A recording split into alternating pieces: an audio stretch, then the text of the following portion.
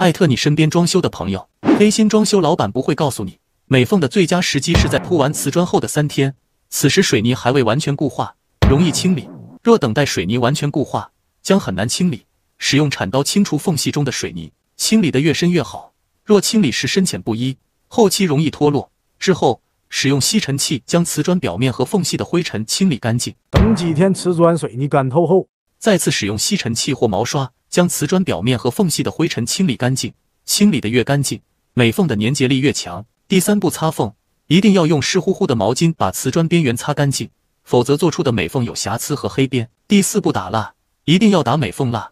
打蜡的目的是为了能在第二天轻松的清理余料。第五步加热美缝剂，在冬天一定要先把材料放到五六十度的温水里加热十来分钟，再打胶。第六步打胶，在打胶前先打出十到二十厘米材料，防止混合不均匀。新手一定要用这个美缝省胶器，它可以起到一个固定的作用，打胶的时候不跑偏，打出来的胶非常均匀饱满，使缝隙里面不会出现气泡。第七步压缝，在打完胶半小时内压缝，不能拖得太久。先用压缝片开一条缝隙，再把十字路口一边一边分开压完缝隙。等二十四小时材料凝固后，用清洁铲清理余料。你学会了吗？记不住的点赞收藏。